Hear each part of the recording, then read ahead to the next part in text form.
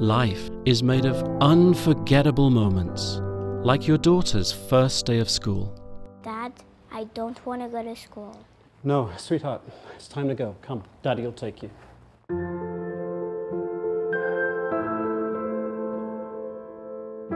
Things may not always go the way we want, and we cling to the safety of home because we are afraid of change.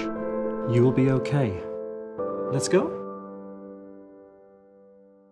Yet change happens, and it can be bittersweet. Like just before you walk her down the aisle. Dad? They become beautiful moments that remind us of home I'll be okay. Let's go. because we know that the feel of home will never change.